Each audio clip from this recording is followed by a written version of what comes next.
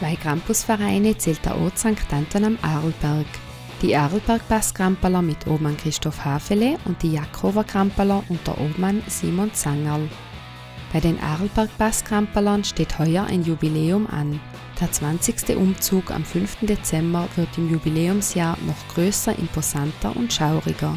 Auch begleiten die Kramperler den Nikolaus am 5. Dezember bei seinen Hausbesuchen. Zusätzlich wirkt der Campusverein bei weiteren Umzügen im Bezirk Landeck mit. Auch für den Glühweinausschank bei der Skishow zeigen sich die Mitglieder ca. drei bis viermal pro Wintersaison verantwortlich. Zum Verein der Jakober Kramperler zählen 32 Mitglieder.